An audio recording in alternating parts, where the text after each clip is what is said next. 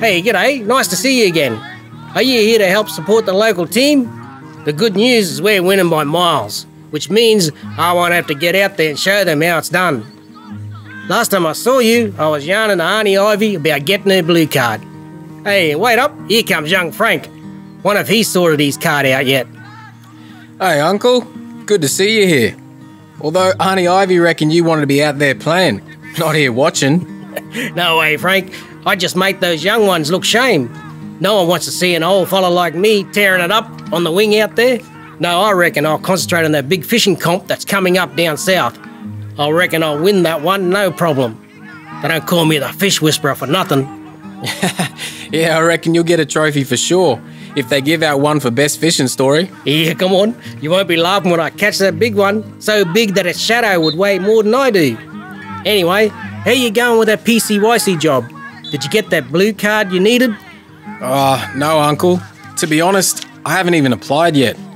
You might not remember, but I had some problems with the police when I was a bit younger, so I'm worried that will stop me from getting a card. It all seems too hard.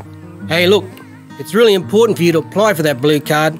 That job at the PCYC is a good one, and the young ones there really look up to you. Even if you had some police problems in the past, you may still be able to get a blue card. Why not give them a call and talk about it? Yeah, you're right. Actually, I'm on my way home now, so I'll give them a call. Oh, okay. So I should still apply, you think? Yes, definitely. Just make sure you tell us your full story. So let us know whether you agree with the criminal history and what was happening at that time. Then tell us what changes you've made to your life since then and what you've done to stop offending. We'll then make a fair decision and let you know the outcome or contact you if we need any more information. That sounds pretty positive, right? Frank's a nice fellow, I reckon. With a bit of help from those blue card mob, he can show that he deserves his blue card. But it's good that they go through this process because at the end of the day, it's all about keeping our little ones safe. Now I'm heading home to get my best rods ready for the fishing comp.